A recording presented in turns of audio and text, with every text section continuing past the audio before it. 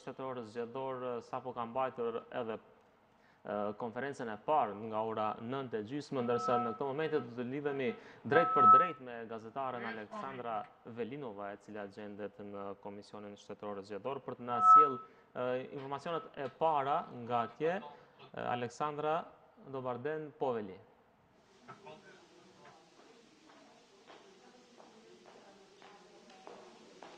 Добро утро или добар ден, Артан Сатеви за гледачите на телевизија 21. Денеска граѓаните на Република Северна Македонија гласаат на вториот круг од локалните избори на вкупно 2481 избирачко место или 44 општини плюс градот Скопје, станува збор за вкупно 1 милион 353.556 избирачи или гласачи кои ќе го остварат ова демократско право.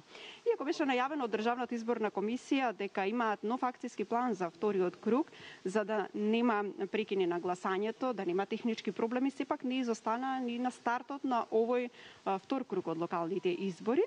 Станува збор за прикини на неколку избирачки места во градот Скопје и во Македонија. Меѓутоа со мене е портпарлот на Државната изборна комисија Љупка Гугучевска, од која подетално ќе дознаеме колкава излезноста до 9 часот, а воедно и за какви прикини станува збор, тоест каква е нивната природа, од каков карактер се овие технички проблеми. Добро утро за тебе, Љупка. Да слушнеме најнапред колкава е излезноста до 9 часот. Добро утро, добар ден, за кого како веќе. До 9 часот веќе на 97% обработени податоци од избирачките места каде што се гласа денеска.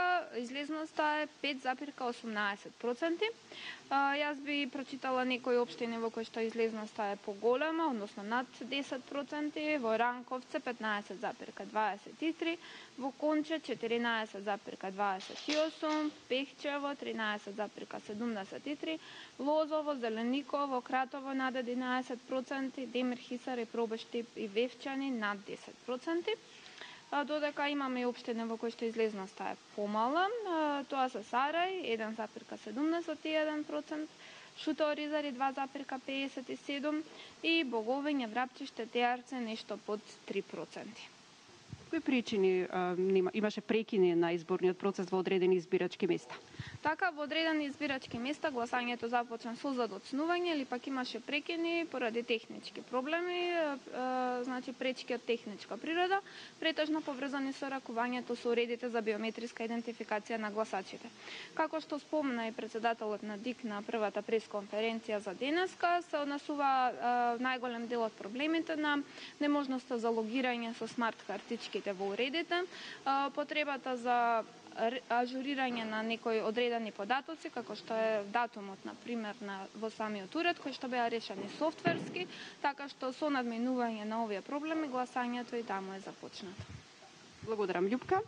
Јас само би сакала да дополнам според изјавата од пресконференцијата во 9:30 на председателот на ДИК Александар Даштевски, прекин имало во следните општини во градот Скопје, на избирачко место во општина Кисела вода, општина Карпош, општина Центар, на две избирачки места во општина Сарај, а кога станува збор за, на територијата на земјава, во Злетово имало прекин на изборниот процес на три избирачки места во Македонски брод, во Лабуништа, како и во општината Чешиново Облешево.